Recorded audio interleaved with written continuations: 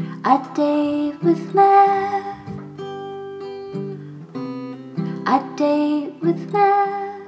Hello, today is October 9th, 2023, or 10 9 23. And what I'd like to do today is to make an equation out of the digits in today's date, and I'd like to keep those digits in order. What I said was is that 1 equals, then I'm going to do 0 plus 9 to get 9, and minus 2 to the third power. 2 to the third power, that's 2 times itself 3 times, so that gives us 8.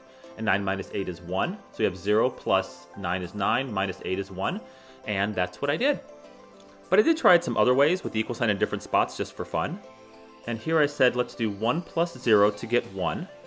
And then I'm going to do, again, 9 minus 2 to the third power. So again, it's 9 minus 8, which is 1, so that also works.